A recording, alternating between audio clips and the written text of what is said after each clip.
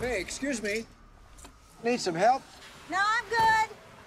Let me take a look. You know anything about cars? Uh, no, not really. So, uh, what did you say you do? Well, that's a secret. And why is that? Well, because if I told you, you probably wouldn't want to see me again. Who said I was going to see you again? Would you? Well, let's take this place.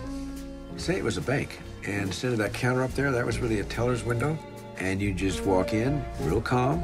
So you walk right up, look her in the eye, and you say, ma'am, this is a robbery. And you show her the gun like this, and you say, I wouldn't want you to get hurt, because I like you. I like you a lot. So don't go breaking my heart now, okay? You're not serious.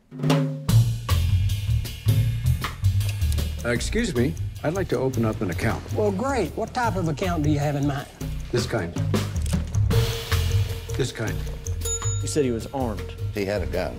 You saw him. Well, he was also sort of a gentleman. He was very polite. He seemed like a nice enough fella. Look at that. Is he smiling? Five states, 93 robberies in two years. You think you can catch him? Yeah, I won't lie. I'd love to slap the cuffs on him myself. But I hope I get the chance. Try another city, baby, another town. He spent his whole life locked up, except for the times that he broke out. Somebody should have told him to quit while he was in. Well, you find something you love.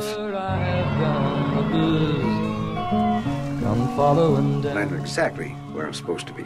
You're never exactly where you're supposed to be, are you? Now, whenever I close the door, I think, is this is the last time I'll ever have a chance to do whatever that thing was? You know what I do when the door closes? I jump out the window.